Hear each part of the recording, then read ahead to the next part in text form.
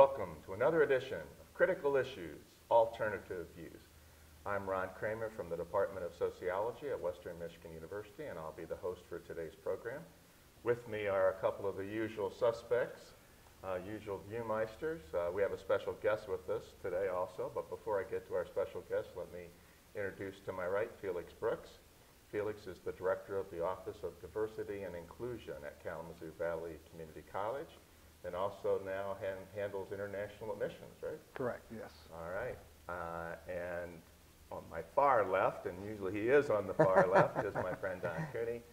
And Don is, of course, a professor in the School of Social Work at Western Michigan University, and he also moonlights as the vice mayor of Kalamazoo. Lots of things going on in the city right now. And we have a special guest with us today who's no stranger to the program, Paul Clements. Paul's been on the program a number of times in the past. Paul's a professor in the political science department at Western Michigan University. And more importantly, right now, he's the Democratic Party candidate for the 6th Congressional District in Michigan. And so Paul's right in the midst of a very busy campaign season, so we're glad you could make some time to stop by and be with us uh, today. My pleasure. So let's start off by just getting an overall view. How's the campaign going? Uh, how you're feeling right now? We're, uh, what, eight weeks out or something like that? We've got So- eight weeks to go. Eight and Wow. go. We've got a great team. Yeah, Uh, We've yeah. built a very strong campaign. We started uh, more earlier and stronger than ever before with our Get Out the Vote program. And, you know, people out there, they're seeing the economy, is just not working for most of us. Mhm. Um, And frankly, uh, the the Republican candidates, both for president and for Congress here, they just aren't addressing those questions. Mhm. So um, I'm feeling, I'm feeling really optimistic. Okay. Very okay. good. And Very you just opened the new campaign office? Yeah, today? we've got a new office uh, over in um, St. Joe. Okay. Uh, And we're, tomorrow, we're opening an office in Niles. So we're, we're building our, our infrastructure around the district. Of course, we've been, had our office in Kalamazoo for quite some time. Right, Yeah. right. But people need to realize the sixth congressional district is, is a fairly large district, It goes over to the lake and Yeah. down to the Indiana Yeah. line. Kalamazoo County, all the way Van Buren, Berrien, uh, most of Allegan, Mhm. St. Joe, and Cass counties. Okay, so it's a pretty large Huge. district. Yep. You got to cover a lot of ground. Doing a lot of talking, a lot of driving around the district. It's a beautiful district. It's a great opportunity. Yeah. It's, it's terrific that you're opening up those satellite offices because that's, that's the tough part, the travel and getting out there and to have somebody on the ground there all the time. That just means so much. Yeah, we're working That's great. so hard on getting out the vote because, you know, that's, that's, that's the way we win is by getting out the Mhm. vote. That's the key. That's the key. So what's different so far about this race compared to the last one? What are you seeing that's different? You know, what I'm seeing is both in, in my campaign and the national p- sto- uh, discussion is that there's so much of a better understanding today that the economy is just not working for most people. Um, the problem is that the real reason the economy is not working, the biggest reason for it, is a failure of Congress. But, you know, people are feeling frustrated. They see government failing. They see the economy, the, the, the, the, the, the corp, big corporations, big business making enormous profits, uh, massive pay rises for the, for the, for the ch- chief executive officers, but their wages are stagnant. Yeah. And the sad thing is that for a lot of people, this frustration, you know, they're saying, oh, well, who can solve this problem? And we've got this, this demagogue saying, I can, I can, just look Only at me, me, only, only me, me." only me. And that's, but, but, but the reality is that we do have real challenges in this country. Um, we do have a, a- an economy where, where it's, it's, it's rigged, um, and we need to turn that around. And this is, this is an election where we've got a real chance to move that forward. That's great. And You you you mentioned the Republican candidate, so I I do want to ask you directly about your opponent's position on uh, Donald Trump, because we know that uh, there are many Republicans who have been running away from Donald Trump and see him as a disaster unfolding for their party. Uh, Other Republicans have, you know, said, well, he's the candidate, so we have to support him, reluctantly perhaps, but we have to support him. Has Fred Upton said anything about Donald Trump? I don't remember hearing anything in the media. Has he know- taken any position on the Trump candidacy? Fred is saying he doesn't want to talk about that. That's Oh, exactly well, right. I bet he doesn't. You know, he, he, he has not endorsed Trump, But you know, I think we have to raise the question. We're talking about who's going to be the leader of our country, the leader of the free world. Do we want someone who, uh, who insults entire religions and entire ethnic groups? Do we want someone who, who encourages violence at their own, at their own rallies?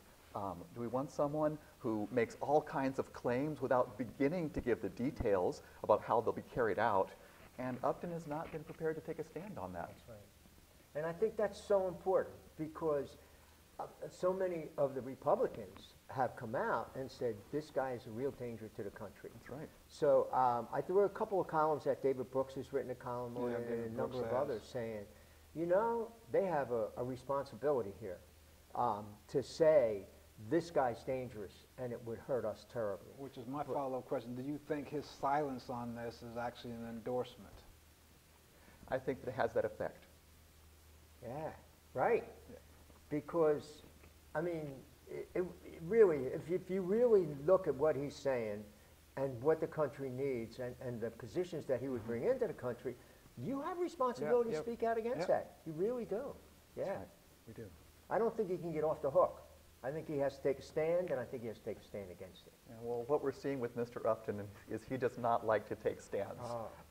we're No, seeing I- that time and again. Time and time again. I, I've often said on this program that I think Fred Upton lacks courage.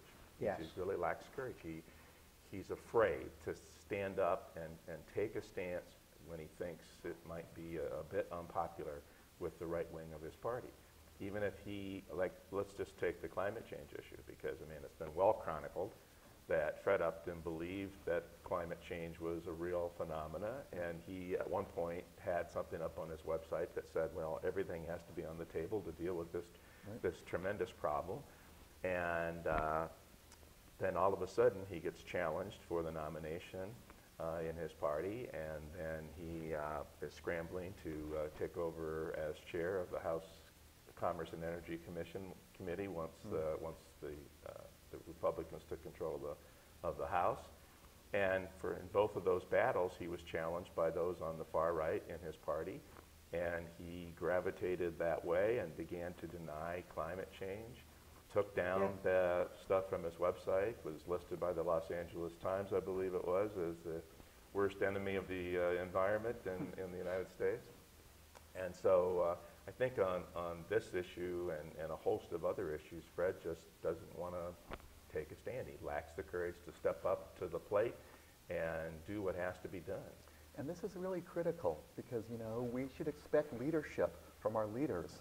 And the president has been, talk, has been talking about how, you know, the, the threats from climate change are really terrifying. It's a very slow-moving crisis, but it is an enormous crisis.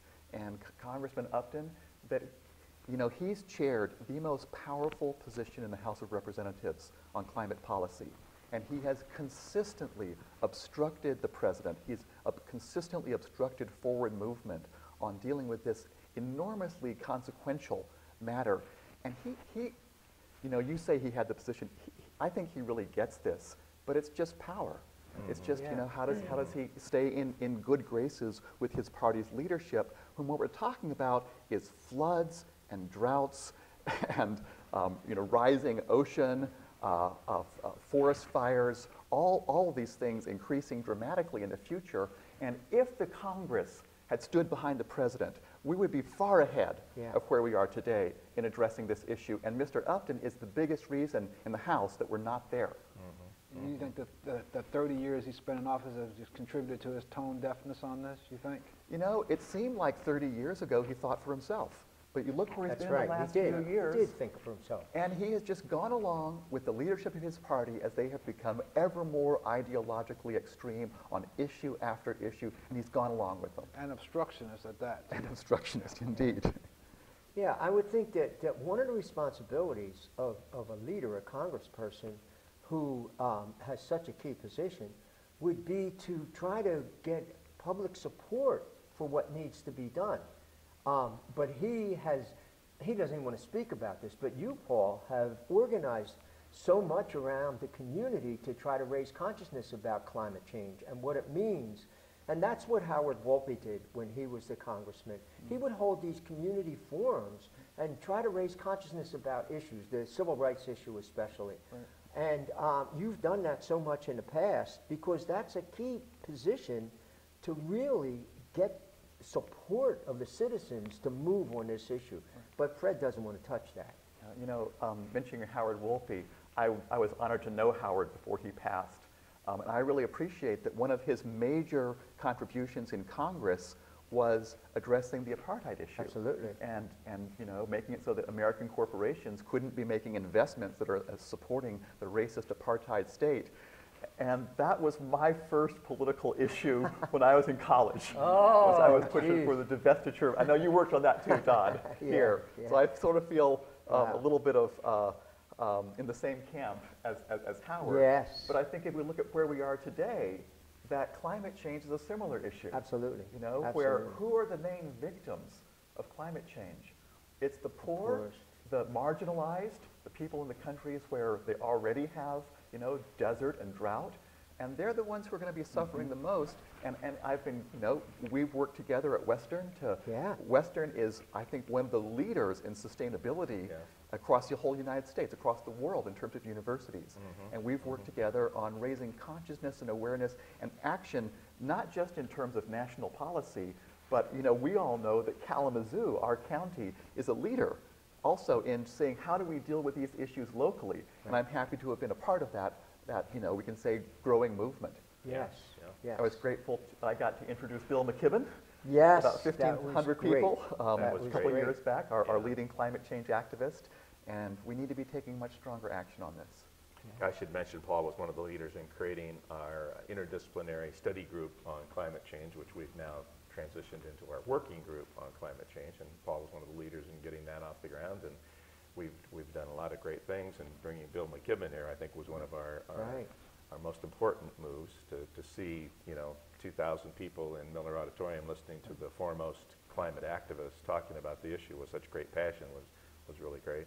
And, and, and last year, um, led by people from that group, the university took a stand to get its resources out of the oil and gas and coal companies. Um, We have like 1% of our investments in there, and they're not going to make any new investments in there. So that was all the fruit of the movement that you guys started on the campus and in the community. It was just great. Well, speaking of education, you, we were talking a little off camera before about your views on preschool. Talk a little bit about that. Sure. You know, I, I was mentioning before that people know there's real, more serious economic insecurity um, than we've had, you know, for, for quite some time. We've, we've, been, we've seen considerable economic growth. We're talking about over 35 years, and almost all the benefits of that growth have gone to the top 5%, the top 1%, the top 0.1%. And part of the part of the flip side of that is that there have become more and more money in politics, more and more loopholes in our tax code. Um, these, the way these people have gotten rich has not been through hard work and, and providing good products. It's been through playing the political game and getting special deals. Well, one consequence of that is we've not been making the investments that our country needs for a broad, inclusive economy, an economy that's really going to work for all of us. And one big area there is infrastructure, our roads, our water system. We see that in Flint. But I think maybe the biggest area is really education.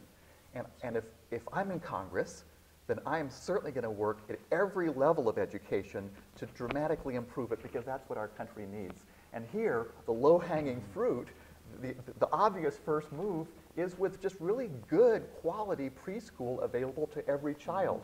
I mean, here in Kalamazoo, um, we've, we've seen that and that the foundations have stepped up with our Young Fours program, but it shouldn't have to be the foundations and, you know, uh, um, charitable impulses to give people what we really need.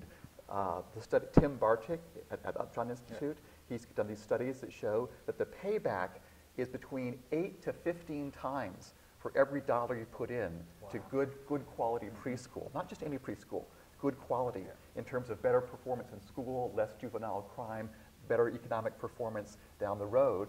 And I think the country is ready to do this. But good preschool has to be just a start. We've got to do better in K through 12. We need to have affordable, at least debt-free, if not free, public university. And we need to do much better in vocational um, training people for the jobs that are out there, retraining people when they lose a job for, the, for the jobs employers need. There's so much opportunity here, and the failure of our Congress is the biggest single reason that we're not moving forward here. Yeah, um, so many of those things you're, you're hitting right on target, Paul. Um, there are a lot of jobs around here, There are, yes. and then they can't get people to fill those jobs. I've talked to many employers here in, the, in Michigan's 6th District who, who want to hire someone, but they don't have the qualified applicants. right. Yeah, and, and, and, you know, that doesn't start when the jobs become available. It starts way before that, Right, like you're right. saying, and getting people ready for those things. Um, and that's, that's where we've really failed people. Um, you know, it's, it's, it, we, two areas, I think, that, first of all, we have to prepare people for jobs and make sure they have the skills that they can do those jobs. The second thing is that, that we have to make sure that they get living wages because two-thirds of the families in Kalamazoo that are in poverty have somebody that's working. And they're not making enough to support their family. So those areas we have to work on. And, and that, that means getting people living wages, but it also would mean the things you're talking about, getting social supports out there. Um, Ron always talks about social supports reduce crime, with lack of social supports, increase crime. But childcare um, and transportation and those other kinds of things that the government has just withdrawn uh, from the support of people. All those kind of things we have to get Congress to get, move on. You, you know, Don, my sister has, has six kids. And after the sixth one was born, the, the father was not around to raise them. So she raised those six kids on the earned income tax credit Right. and on, and on food stamps, and I'll call it SNAP. Okay? Well, here in Kalamazoo County, we have 20% of our kids who go to school hungry sometime during the year. And Congressman Upton has voted for continued cuts in food stamps.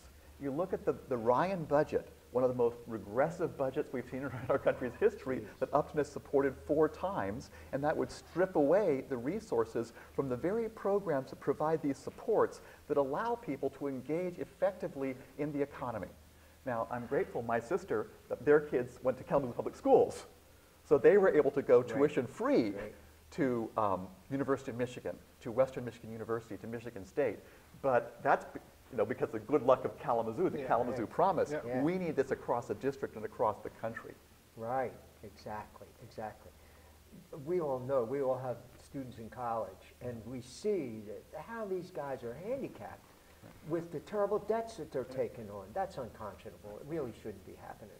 And, and I'm proud that Hillary Clinton has followed Bernie Sanders' lead Yes. on this. Yes. And she has said, we need to have free public university for families with up to $125,000 per year income. And let's go there. Oh, great. That would be terrific It's stuff. a huge difference, so. You know, I'm teaching uh, two classes this semester on social policy. So what I'm doing in my classes to begin the semester is I'm showing uh, Michael Moore's film, Who Should We Invade Next? Which is all about social policy in other countries. And the, the, the students in my class are looking at it and saying, well, what, how come we can't do that? I mean, what's the deal? Why can't we do that? We got more resources than those guys, but we're not doing it. And of course, we could. We Yeah, could. could There's no all of those reason. I was in Berlin for a conference last year, and, you know, students, uh, college students in Germany go to, to go to school for free. The, the state funds the higher education, and uh, doesn't seem to be hindering Germany's economic growth at all. Because they, because they recognized what the long-term payoff of that education will be. Yeah, You know, makes a huge difference in terms of the economic stability. Right. And, and I've been talking about a lot of these issues in the campaign trail. And a lot of the times when I raise them, a question people ask is, well, how are you going to pay for that? Right. And I think that's a very appropriate Sure it question. Absolutely. Okay, well, let's start off with removing the um, uh, interest deduction that allowed uh, our, a previous presidential candidate, what's his name, Mitt Romney, to pay 15% right. on his income uh, when, when we're paying much more than that. So, so if, you, if you make your income through big investments, you pay the same rate of tax than the rest of us. That'll get an enormous amount. Let's, let's follow what Bernie Sanders proposed and what we see in, in United Kingdom, a big financial uh, center.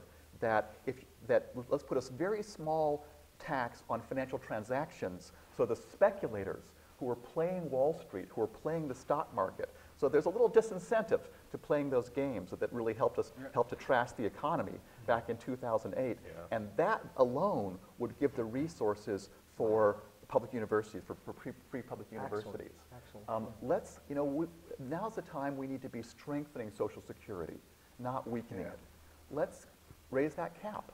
You know, why is it that you only pay Social Security tax on the first 118,000? Let's, let's raise that cap, and that will allow us to strengthen Social Security.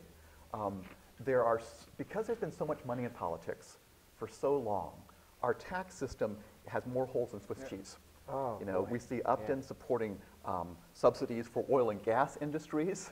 Which are uh, huge. Which, which are huge. That If we, they that they don't need. That Right, they don't that need. they don't need. The reason we don't have the money to make the investments that are make our economy work for all of us is because people are scamming the system. Yeah. We need to get rid of those loopholes. We'll have the resources to make these investments so we can actually have the supports that allow people to participate actively in the economy, do the work to improve their conditions. Right, right.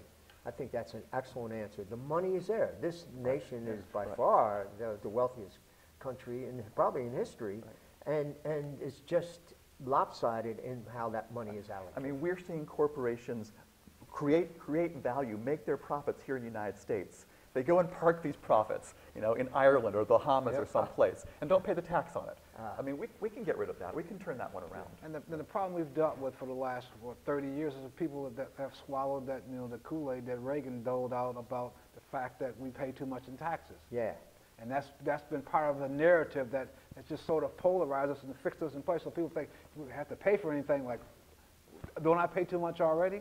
No, actually you don't. And, you and, Right, and the right. point is that we pay among the lowest Yeah. tax rates of any industrialized Yeah. country, and it's been because of all this money in politics that the very wealthy have gotten out of paying the taxes that in other places they would normally be expected to pay. And, and I think there's solid research that shows that most people do not oppose paying taxes right. on two conditions. Number one, that they think the tax system is fair, which it's obviously not at the current moment. It's not a fair tax system, but mm-hmm. if the tax system is fair, people don't mind paying taxes. And second, if they know that their tax money is being used in a sound way to make the kind of investments. And I think that's a critical term, investment, to see governments has a, a responsibility to make investments that improve the future for all citizens. That's what you're talking about in a variety of different ways. Right.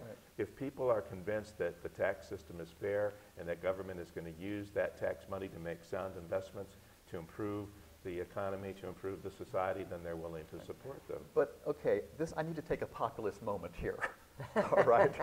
Um, Who is it that's not paying the taxes? It's not the 99% No. of our citizens of- Right. of, of Michigan's 6th district.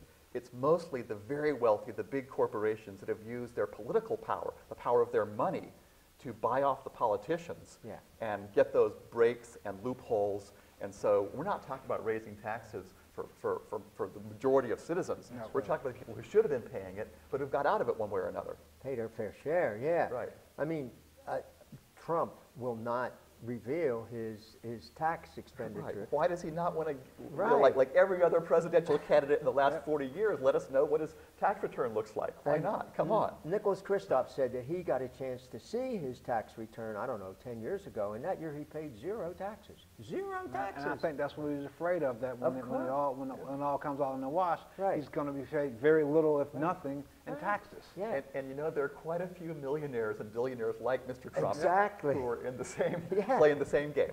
Yeah. And, and that's the tax fairness issue that, Right. uh, that we're talking about here. And so, yes, people perceive that unfairness, that, Yeah. that the system is rigged Right. Right. uh, for the 1%. And I think it helps overall then to, um, you know, it, it redounds then to, uh, you know, government in general. That, Yeah. that people's attitudes, their anti-government attitudes are reflected partly because of that unfair tax system. And we've seen Bernie talking about that throughout the last couple of years. We've seen Pope Francis Yeah. talking about that, Yeah. that we need a fairer system. Right. Um, we've seen Hillary Clinton moving in that direction in many areas. Um, we, if you look at the, at the Democratic the, the platform of the Dem- Democratic Party that was approved in Philadelphia um, a couple months ago. Uh, it's the most progressive platform we've ever had for, Demo- for, in, for any party in this country. And by contrast, the Republican Party is one of the most regressive. The, the, the difference between those two, where everything from um, uh, the, making the, the people pay their fair share of taxes, moving to tax fairness, investments in education, um, uh, the Republicans, they want to turn Medicare into a voucher program. Oh, yeah. They want to raise the, the age of accessibility to Medicare, For the Democratic platform, that's say, let's reduce it to 55. You can get Medicare when you're 55 years old. We need to be strengthening Medicare, not, not weakening it. With the Affordable Care Act, this is just so sad that the Republicans in Congress, 55 times, they vote to oh, defund the Affordable Care Act when they're not willing to work with the president to see how to fix. Yeah, it has some problems, Yeah. but if you're not going to work to fix them, there are 20 million people, who, some of my friends, who have ins- health insurance for the first time. Are we going to take that away from them? Yeah. Right. From those 20 million people? It is not going to happen. It's just impractical. But they're not willing to talk across the aisle about how we make those improvements so we really do get good, affordable, accessible health care. And Mr. Upton, my opponent, is um, one of the people who has been, you know, uh, just not preparing to, to play this, not preparing to have this discussion. Right, right. And, and that's true of so many of the issues that we face. I mean, um, he just punt, he doesn't deal with them. Yeah. And that, that's, that's, We've But he- seen his But he party. punts on first down. yeah, I know, yeah. You know, we were talking about this before our, our, the show started here, that, that when the president was elected, that the Republicans in Congress said that they were going to try to block him. Right, That they were going to work to solve the challenges, to, to pass Yeah. the laws that the country needs. They were going to try to make this, the, this uh, President Obama a one-term president, which obviously failed, but somehow they seemed to keep it up, Yeah. that if the president was for it, they were going to be against it. And we haven't had working together that is what the country so badly needs to address a whole host of issues. We've had one of the most ineffective Congresses, the most ineffective in my memory. yeah. Oh, yeah. most definitely, most definitely. And again, there's just an awful lot of uh, writing out there from political analysts, some of whom work for conservative uh, think tanks, like the, the Heritage Foundation or the American Enterprise Institute, which, you know, Thomas Mann and, and Norman Ornstein, Yes. their Yeah. book, you Two know, it's books, worse yeah. than you think. Yeah. Uh, and uh, their analysis is that the Republican Party has become the most extremist party in American political history Wow. that they have moved so far to the right and they have become so obstructionist and so extreme in their views uh, that this is unparalleled in American history to have one political party go that deep off the far end. And of course, what that means is that we've had gridlock, that Congress is we've unable to get anything done because one party, the party that actually controls the, the House and the Senate, that both, both chambers, uh, is so far extremist and refuses to cooperate with the Democratic Party or with the president to get anything done for the American people. Right. And the American people suffer because of this extremism. And And you know, during World War. II, the, the Congress was busy, had a lot to work on during World War II. I think there was a period there when they didn't pass so many bills. But since World War II, there has been no Congress that has passed fewer bills Wow. than the present Congress. Yeah. What are you saying? I said, you know, and it's, and it's across the board, you know, you look at the judicial nomination Yeah. process. Right, that- exactly. That's ground to a halt. Yeah. Exactly, right. There's no effort to solve the country's problems. The country's problems are deep, and they're getting worse, and there's really no serious effort to deal with them. The one thing that these guys care about is getting reelected. That's all they care about, c- c- holding that power. So no wonder that Trump resonates with so many people, because he's right on the idea that this system is not working. And, um, but that's just a starting point. We, we have to move in a, in a direction to make it work. But you know, I, I teach national economic development. I teach about the economic development of many countries around the world. And one thing you see is that when things are really bad, and they are bad right now, that that often turns into a time of real opportunity. And I think we may be about, about to turn that corner, that people see that we've got to fix education, we've got to fix our infrastructure, we've Yeah. got to increase produ- production of goods in this country. Our, our, our federal government, particularly our Congress, but our federal government, it has been failing us.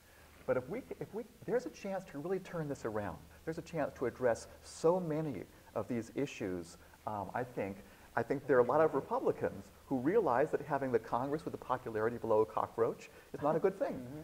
Um, So uh, if we get a few changes of, of personnel Right, in right. Congress, we've got a chance to really move this country forward for an economy that's going to work for all of us. I, I, I think that's right. I, I totally agree with that, yeah. There's an opportunity here. There There is. really is, yeah, Yeah, yeah. yeah. Um, We gotta seize it, that's the thing, yeah. So what, what, um, I'm seeing now that, um, there's a very good chance that the Democrats might get control of the Senate. Yep. Is, is that right? Yeah. And then they're moving up in the idea of the House too. It's, it's a long way to go in the House, but it's much improved from where it was, the opportunities, the You know, chances. there are quite a few national political analysts who are saying there is a real chance that the House could turn this year. We could have a Democratic House Really, uh, from January. I mean, it's early days yet. Yeah, yeah, yeah. Wow, yeah, something, gee. That would be, uh, that would be an enormous turnaround. Wouldn't it be an a more, Yeah. what's it, 46 seats or something? Yeah, something like Yeah, that. Yeah, yeah. wow. But I think that what, what we need is, is about 23 or 24 seats to turn that. Ah, So yeah, wow, great. And here's got to be one of them right here. So that's, that's great. Paul, have, um, uh, has uh, your opponent called you and asked for debates yet at all, or? You know, funny you should ask about that. you know, when, when I ran in 2014, he, he agreed to debate me, but then he pulled out at the last minute. 24 hours before, he pulled out. And this time, um, the League of Women Voters has been asking him, you know, uh, over in, in Berrien County, will he come and debate? And he's not re- responded to their request. My campaign manager is talking to his campaign manager. Will, will, are we going to have a debate? And he hasn't responded. So he doesn't want to talk about Trump, and he doesn't seem to want to talk to the citizens of his district about what, what So- his so why do you suppose are. that's the case? Why doesn't he want to debate? I think he's afraid that if people ask him about his real positions, that they'll see that he's hurting their interests in area after area. That he'd like to present himself as a moderate, but as his party has become more extreme, the Republican Party in Congress Mm-hmm. have, has left so many Republicans behind, and he's gone right along with them, and he doesn't like, he doesn't want to let people figure that out Right. by answering the questions mm-hmm. about his votes, about what he has stood for, how he has represented us, Michigan's 6th District, in the U.S. Congress. He doesn't want to talk about that and a- a- answer questions either to the media or to, you know, the candidate from the other side, which is how our democracy is supposed to work. So, so my follow-up question has been is, how has the media covered that? His si- relative silence on that? Well, I will tell you that when I had my first, when I, when I just uh, said I'm going to be running again, my first interview was with WKZO, our local radio station. And their first question was, gosh, Congressman Upton didn't debate you last time, did he? Is he going to debate you this time? So I don't know. It's You know, and I'm maybe cu- the media will pay what- attention. With, the- with the papers in Berrien County and some of the other out, outlying counties, what, what have they said? Have they been silent on this as Well, well? so far they've been silent, but let's be clear that, that this is just this is just becoming apparent. That in terms of the normal schedule of things, now mm-hmm. would be the time that you'd be getting these things on. Yeah. the schedule. And so before we were waiting, thinking maybe it would happen. But now, now is when, if you're going to schedule it, now's the Yeah. time to do it, and it's not happening. So now's the time for um, him to be held accountable for not responding to the voters. Right. Shame on us if we let him get away Yeah. with that. We can't let that happen. He has to face the people. He has an obligation to. No, he has know? an absolute obligation. And he, he will do everything he can not to do that, not to, to face you. Um, and he'll want to debate you in a, an area that's completely safe for him and where nobody can show up or something. But we can't let him do that. I mean, when I ran, um, the local media organized the first debate. And um, it was at the public library, and we packed the place. You would remember that. And uh, that's got to happen again. We have to do that. Um, we have to get them out. We deserve to hear both sides Yeah, of what people stand for. Yeah, Felix, you're right, that someone running for Congress has an obligation to respond to the people, to respond to their opponent, Yep. because otherwise democracy doesn't work. Right. You know, our- your first obligation is always constituent service, and then an election, that would be paramount in my mind that that's, that you would do to let your voters know, this is where I stand. This is, this is the contrast between me and the person that I'm running against. And, and if we don't have, if they're not answering questions, they're not accountable. Yep. Right. They're not accountable to, to the people they're supposed to be representing. And without accountability, democracy does not work. he has every advantage in, in so many ways. One way he has an advantage is that he can send a letter, um, uh, uh, his report from Congress to every single member of the district here. And, and that's worth hundreds and hundreds of dollars, probably thousands. But he does that for nothing because he, he's a congressperson. And he's only allowed to do that up to so many days before the election. But he'll do that. He'll send that out and contact every single person in the district. The second thing is, I mean, he was on television last night on Channel 3 um, talking about his visit to Flint. He doesn't have to take any stands against anything that we're talking about here, just say the Flint thing is terrible, and he gets on television uh, for an extensive, and, and they treat him so softly, they don't really go after him on anything. But he can do those kinds of things that gets him in the media, um, and then people see him and think that he's really doing some kind of things. And now that the election comes up, he likes to talk about Flint. He likes to talk about Zika. But he's done nothing to get action by his party. Nothing has happened in Congress. exactly. I mean, the fact that nothing, his party is in power, he has not used, he's one of the most powerful people, chairs of House Energy and Commerce Committee, one of the very powerful committees. He could have moved action forward on this if he'd wanted to, but he has failed to do that. But that's not his only, I'm going to say, unfair advantage. That Congressman Upton is one of the top recipients of out-of-state corporate political action committee money in the House of Representatives. You know, I'm raising my resources from citizens of this country. Mr. Upton is raising the overwhelming majority of his res- resources from political action committees of companies in the very sectors that he regulates. And they don't give this money out of the kindness of their hearts. Right. They get Right. payback for this. Yeah, that, that's, that's a very important point. He, he's getting, he, who's he getting the money from? Who He's getting money from the oil and gas industry, from the pharmaceutical mm-hmm. industry. You know, he's been talking about this EpiPen thing. Yeah. All right. Well, Congressman Upton voted for the bill that blocked Medicare from negotiating drug prices, Oh. pharmaceutical prices, Hard. with the pharmaceutical companies. He voted for the bill that blocked the importation of, of generic drugs from Canada. If we had these things, the, the price across the board of our, of our um, pharmaceutical product, of our drugs and medicines would be much lower than what it Yes. today. And then he says, okay, we've got to worry about EpiPen. This is, yeah, let's worry about it. But he created the system that led to this problem. And, and it's a very mild bill that he's introduced. He's saying, in the future, companies can't do this. Right. He's not really doing anything about the, the current situation with EpiPen. Yeah, yeah.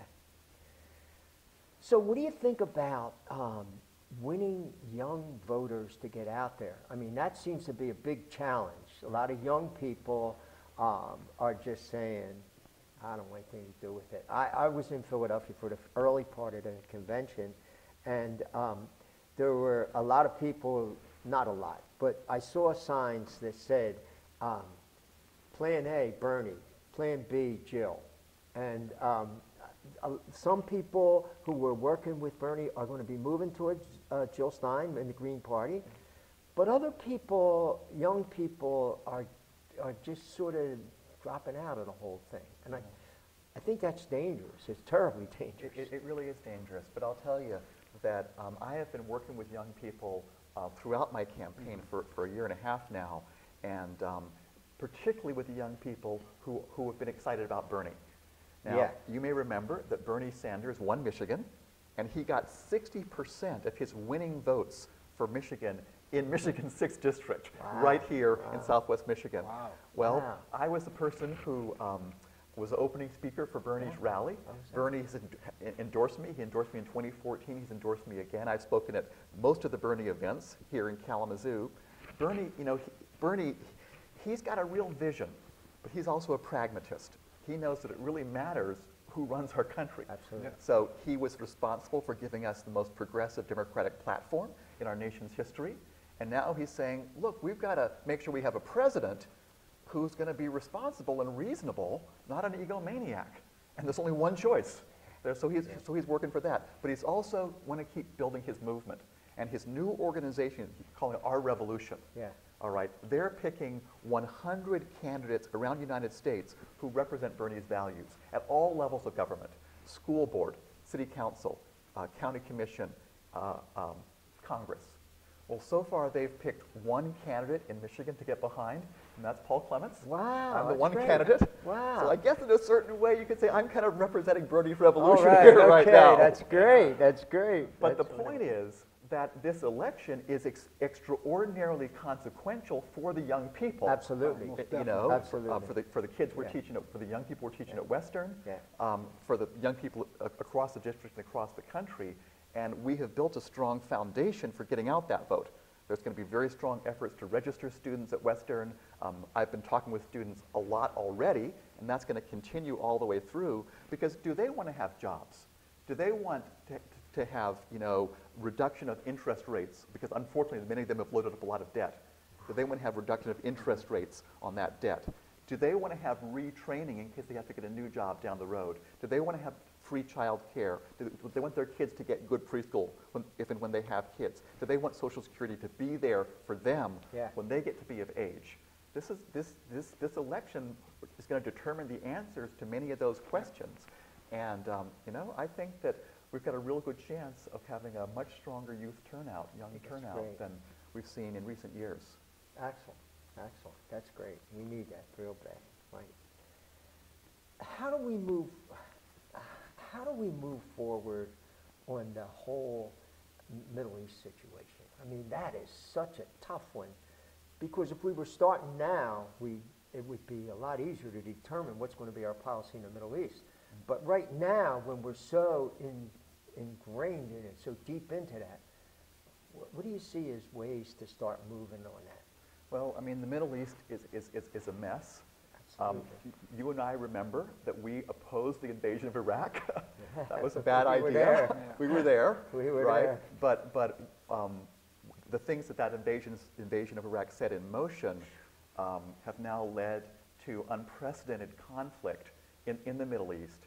And, it's, and, it's, and there are so many different forces going against, against each other. It's, it's a very complicated situation, all right? And uh, the unfortunate reality is that there are, there's no silver bullet. No. That there is, n- there is, no, there is no easy answer. Right, there is none. Now, we have one of our presidential candidates who says he's going to take the oil away geez. from ISIS, all right? And the only way you do that is by sending boots in on the ground. And I think we've seen from the ex- experience of Iraq that that just does not work. And if we have a militaristic well, yeah. attitude, that that's not going to work. You're going to say something? I said in Afghanistan as well, you know. Right. that- that- Yes, That, that approach exactly. just doesn't work. The No. Big footprint. No. Hasn't, hasn't served us well at all. You know, we have finally got a deal with Iran that Yeah. moves, a, moves away from them moving towards a nuclear option. We have a chance to continue to work with Iran on issues like security in, in Syria. Um, but if Trump is elected, he's saying he wants to trash that treaty. Um, and that's, that's, there'll just be one more thing that will exacerbate conflict in this such critical area. You know, we certainly, I don't see a role for, for the, the army, you know, for our regular forces to go into the Middle East at this stage. We need to continue working with our allies, that, that Turkey, um, they don't want to see states collapsing around them. Right. Um, it makes an enormous difference to them. The Kurds, they've been working very hard. We've got to continue to work with them, with the relatively moderate forces, and just uh, build a, a, a perimeter of, of security, of, of um, moving towards, you know, hopefully uh, respect of human rights. Yeah, Um, and uh, it's going to take time, but, I- but, but I think that's the way to, to move forward. yeah. Well, in, in retrospect, you know, we were and, and, and perhaps should have been big supporters of the Arab Spring, but had we knew that this was going to be the consequences, do you think we would think differently about that now? I think that, that here, here is a point where I do agree with Hillary, and that is that um, on, on the military side, that we should have, provi- that it would have been, we see in retrospect with the you know, 2020 hindsight, that, that stronger support for the moderate forces in Syria four years ago that she was promoting um, would in all likelihood have uh, led to a better situation today. Not, not, not, not sending army in to support them, but, but building them up. Yeah, I, I think you're absolutely right that, that there's no quick answer here. Unfortunately, this is going to be, uh, but there's no military solution to it. It has to be diplomatic, it has to be human rights, it has to be supporting the positive forces in that area, and that's going to be a, a huge amount of time. Right. Uh, But i- I think that's the only way to move forward. The easiest thing to do is to say, we're just going to send in troops, we're the most powerful nation in the world, we're going to go in here and do that. Uh, That didn't work so well in Vietnam, it didn't work so well in other places, and it's not going to work well here, it hasn't worked well here. So it's this terrible situation that we're in, we have to slowly get out of. I think you're That's 100% right. right on Yep. that. We have to beware of simplistic solutions. Yeah. Oh, uh, right, which- right. Which is what Yeah. Trump offers. for Yeah. Simplistic solutions that have no thought behind them and, and uh, no, no chance to be successful. Uh, And that's when he offers any, any ideas at all. Most of the time, it's, there's nothing there. And no There's- details. There's No no there detail. there. And it reminds me of the whole Donald Rumsfeld thing, you know, will we agree to just liberate us? Well, it's a little bit more complicated than Oh, that, my you gosh. know. Oh, boy. You know, one of the things about Donald Trump that, that really, he's really right on, they don't care what he says. I mean, he's, he, he, he could say the most crazy things in the world, as he does, but he doesn't lose support. I mean, his supporters are with him because they're so disgusted with the existing system that he's standing against the system, so they're with him. And there are real dangers in this. Yeah. You know, he's Oh, talked boy. about, about Putin being a better leader Yeah. than Barack Oh, Obama. Well, let's say, what does Putin do? He invades Crimea. He restricts press freedoms. If someone speaks against him, he throws them in jail in- in many occasions. And is that the role model that Donald Trump is going to use for, for, for, for serving as a president? Could you imagine the firestorm if, if a, a, a candidate Obama running for office had said the same thing about Oh, my Putin? goodness. You know, could you imagine the firestorm that would have would have ensued? Right, But again, Trump says that, and he, and he seems to be able to get away with it. He You gets know, away with it, yeah. People say this is, this is crazy. The responsible people say this is crazy, but it doesn't affect his, where he stands, yeah. Well, let's, let's continue with Trump and his craziness for a, a bit more here. One of the main issues that Trump has uh, been focusing on is the immigration issue, Oh, which is an important issue and a serious issue. So, um, how do we deal with this issue? It's a very explosive issue. Uh, Trump seems to be gaining a lot of ground by ramping up fears about immigrants and threatening to build walls and deport people in massive uh, quantities. What, what's a sensible way to approach the immigration issue? Well, I think the first point there has to be that we have 11 million people who almost, in, almost all of them have been living in a law-abiding way and contributing to our economy, part of our communities. And Trump has said he wants to send them all home. Yeah. Send them all back to Mexico or, or wherever they came from. And he's gone back and forth on that. Right, That's right. one of the issues where he says, one day he says one thing, one day he says something Yeah. different. But if we were to do what he says, that would, that would not only, that'll be, be terribly uh, destructive to so many families and communities, it would also ha- have an enormous cost to our economy. Oh, my Right. goodness. Um, it would Right. be, it, it would, it would, could only be carried out through moving towards a police state, and it would be extraordinarily expensive, so we wouldn't have the resources for all the basic things that government needs to be doing. But the other side of that is that most of these people who've been law-abiding, they need to be incorporated into our, into our communities in, in a way where they can, they can operate, where they can have education, where they can have a, um, uh, an economic, participate economically. And I think that that means we're talking about pathway to citizenship. Yes. Um, yes, we need to be sure that we control our borders. Yeah, we need to, you know, we have rules and we need to enforce those rules, but we're a nation of immigrants and we have been enriched by our diversity in the past, and that's where we are today. And that's my question. To me, the fundamental question is a, is a question of what our values are. And our values as a society that we've always espoused is that we're an inclusive society. Right. Yes. And so Trump's stance takes us and turns that, turns that right on its head. And Trump, in, in area after area, have been, has been divisive, has been trying to set one group against another, has been, um, again, you know, saying that, okay, we're, we're not going to allow people from, from, uh, from Muslims to come to the country or people from an entire country to come to the country without, um, in, in, when, when he gets into office. Um, Yeah, and right. we, ne- we need to be a country where we work together to solve our problems, to build our economy, to be the example of democracy that worked, that worked for all of us in, in the 21st century. And Trump would take us in the opposite direction. I mean, we have uh, roughly a, about a million students that come into this country, international students come into this country every year. And a lot of those country, students come in from countries that, that, that are Muslim-leaning countries. So what are we going to do? We're going to close the spigots on that as well? Oh. I, I have quite a few Muslim students in my classes that I teach, Yeah. and you know, many of them are, are great students. Yeah. Because I've been, I've been getting asked that question by my students from Saudi Arabia a lot over the last couple weeks.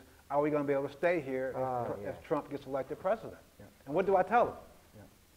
Tell him Trump can't Yeah. get elected president. I mean, Trump is threatening to not, not stand by our NATO allies, Yeah. to not abide by the treaties that our country has been a part of, that, that we set up for, for over so many years. Um, you know, uh, the, the amount of uncertainty that, that would be generated if he were to become president, the status of the different international uh, organizations that, that we've been a part of for so long would all be thrown into question. Yeah. And that comes back to full circle to what I said earlier. Your opponent's silence on this, to me, just reeks of an endorsement. Because Yeah. he knows all this narrative is out there as well. Right. And yet he doesn't say anything. it- what we're, what we're saying is, is who is going to be the leader of our country? And if Trump is the leader, it, it raises enormous risks for our country and for the globe, and for, for a responsible member of Congress not, I mean, a, a responsible member of Congress has to take a pos- position on that. Yeah, that's right, that's right. Another area um, is the whole area of violence in the country. And I mean, you, uh, we've been getting a lot of publicity about uh, Chicago and seeing what's happening in Chicago. But I learned yesterday that Chicago's fourth, that there are three other cities that have a higher percentage of people being shot and killed in, in this country. Baltimore's first. Baltimore. St. Louis is up there, and I'm not sure if it's Detroit that's third. I'm not sure who it is. But um, I, something has to be done to try to give young people hope, to give them something that they can hold on to, or else we're just going to have more of this kind of thing. Years ago, uh, you looked at um, violence as a public health problem, and I think we're going to have to look at it. Deborah Prothrow-Stith, remember we Deborah brought her Prothrow here to talk about yeah. that particular Yeah. issue. yeah. And again, this, this, this comes back to what we've been talking about from the very beginning of our discussion today. And that is to say that the failure of Congress has meant that we're Right. not making the investments in, in things like education, but it's also in social supports that, that, that allow everyone to have a real chance Yeah. of making economically. And so we do have many communities in our society where kids growing up don't think they have a future. And most of that impact, unfortunately, disproportionately falls on students and people of color. It certainly does. And, and So that has to be part of the debate as well. One thing we've not talked about is our criminal justice system, you know, where we have far and away, 25% of the people in prison around the world are in prison in the United States. Unbelievable. And that's not right. Oh. And that's not right. We have, we have, we've got 2% of our, of our adult population in prison or parole or whatever. We've been, and there are many people who got there off drug offenses. There are many people who have mental health challenges who find themselves in prison for one reason or another. And there are ways to work with people with substance, substance abuse issues and mental Certainly. health issues that allow them to participate in the community and address their challenges. And throwing them in prison for five or 10 or 20 years is not the solution. And this is another place where finally many of our Republican uh, comrades are seeing that, you know, um, having people 50, 60 years old in, in prison at $25,000, $30,000 a year is not a very wise investment when we don't have money for public education and for, and for universities. And so there's an opportunity here to move this one forward.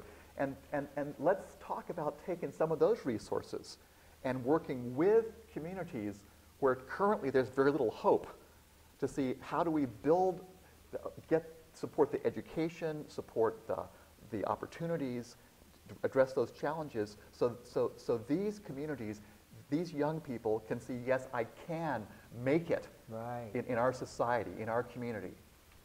Yeah, today's the 45th anniversary of the Attica Uprising. Um, so um, I think it's a very special time to think about that. What have we learned over all that time about incarceration and, and how we treat people and what we, We, want we, to see? we actually have someone in our, in our group who knows a few things, a little bit about this. Maybe Ron would have some, that you actually study this.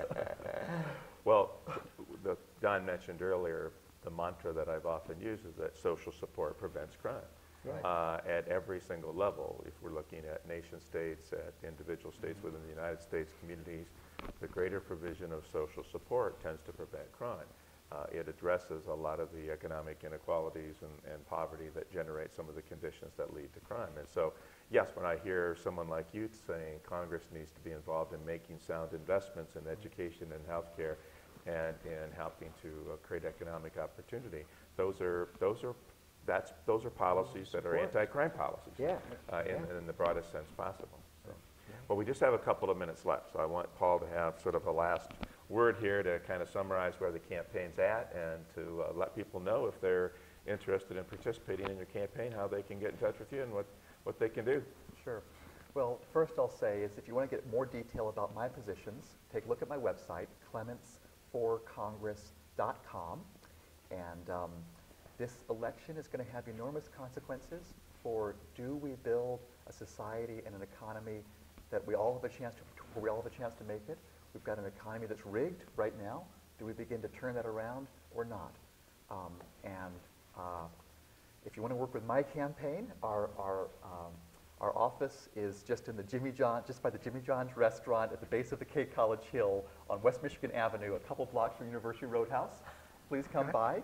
You know, this election, like most elections, will be determined by the turnout, by who comes out to vote.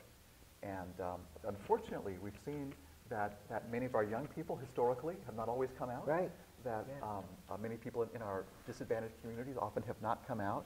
And if we can get out the vote for these issues that, that matter for our lives, for the lives of our young people, for the lives of our communities, for their future, their fu- it's the future of, of the people of this district that's on the line. And that's what we need people to come out and express their will in the voting box for on November 8th. And whatever help peco- people can provide to allow that to happen, um, well, I think it'll probably help me for my Yeah, yeah, campaign, yeah. but it's also what we need for our democracy. Absolutely, yeah, Most definitely, so. All right, Paul, thank you very much for being with us. Thank it's you, always Ron. a pleasure to have you on the program. Uh, Felix and Don, uh, good to be with you again.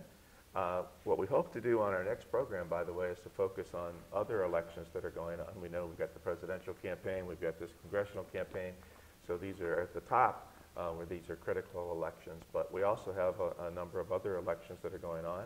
So we hope to focus on uh, John Fisher's race for state representative uh, from Portage and uh, look at the Kalamazoo School Board Yeah. uh, race. And uh, these elections at the lower levels, the local levels, are also critically important Right. for moving us forward to the, the kind of vision that Paul is articulating here. So Paul, again, thank you for being with us, and good luck with the rest of the campaign. And we'd like to thank you for joining us on Critical Issues, Alternative Views, and we hope to see you again very soon. Thank you.